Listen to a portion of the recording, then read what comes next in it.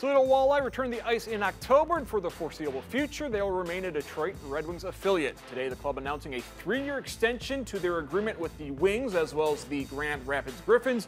This year will mark the 12th year of that partnership that will now extend to at least the 2023 24 season. Much like the Mudhens and Tigers, it just makes so much sense for the Walleye and Red Wings to be affiliated.